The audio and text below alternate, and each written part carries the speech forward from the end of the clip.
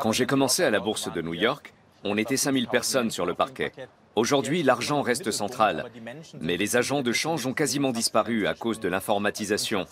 Il n'y a plus que quelques centaines de personnes sur le parquet. Vu de l'extérieur, la bourse de New York a toujours l'air vénérable et importante. Mais dans les faits, ce sont des machines qui font le travail désormais.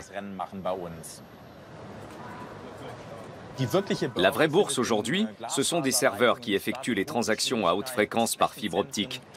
Ce ne sont plus les agents de change qu'on voit aux infos.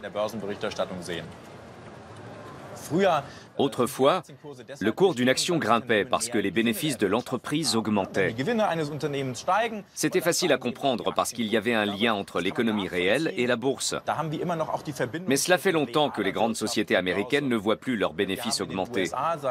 Au contraire, ils sont en baisse. Pourtant, le cours de leurs actions monte.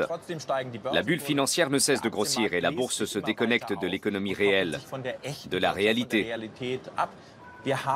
En dépit d'une politique monétaire agressive, on ne voit pas d'accélération de la croissance économique. C'est bien le signe que le système a changé en profondeur. Je ne sais pas ce qu'il faudrait d'autre comme preuve. On voit des choses qu'on n'avait jamais encore vues. Et justement pour cette raison, on ne sait pas comment on va réagir si ça tourne mal. C'est angoissant, autant pour moi que pour mes confrères qui sont sur le parquet.